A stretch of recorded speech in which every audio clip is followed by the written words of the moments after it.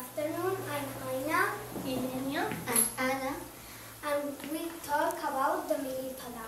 The millipeda is very long and it's invertebrate. The millipeda is very long because it's made up of segments. Millipeda are most commonly found in the cooler, damper and darker places within their environment.